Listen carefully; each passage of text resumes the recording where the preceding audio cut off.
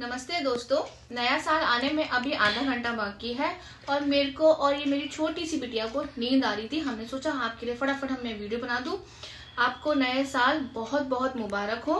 बस मैं इतना चाहती हूँ कि जिन लोगों ने आपको 2023 में तंग किया, उन्हें छोड़ दो, भूल जाओ। दिमाग से निकाल दो दो बार 2024 इंजॉय करो और कुछ अच्छे काम करो, जैसे हमने किया।